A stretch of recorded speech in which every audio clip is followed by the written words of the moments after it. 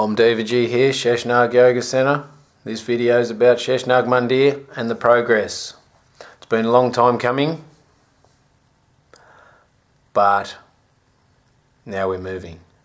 Building application about the 21st of June 2015. Surveying for the Sheshnaag Mandir 9 by 9 metre temple already done. For the Sheshnaag building, surveying already done. Following building approval soon, excavation will commence. There's a spiel on the website sheshnag.com about how the mandir will be available for all yogic events. I need help.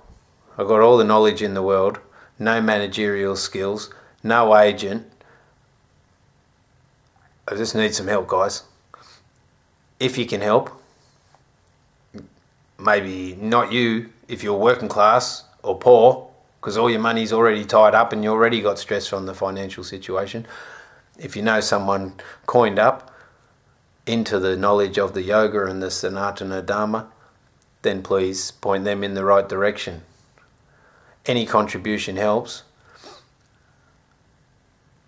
The knowledge is there for free. The building will be there to share. Sheshnaag, share the world.